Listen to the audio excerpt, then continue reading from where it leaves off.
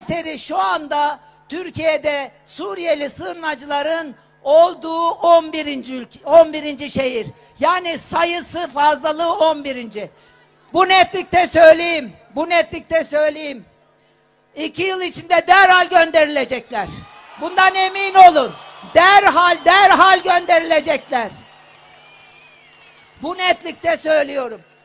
Şimdi